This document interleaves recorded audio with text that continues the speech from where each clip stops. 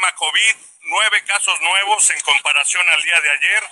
Tenemos casos activos ambulatorios y hospitalizados, 360, distribuidos en 32 municipios. En lo que respecta a la hospitalización en todo el sector, 12 pacientes hospitalizados, afortunadamente ninguno con ventilación mecánica asistida. En lo que respecta a las defunciones, ninguna defunción en las últimas 24 horas. ¿Es cuánto, gobernador?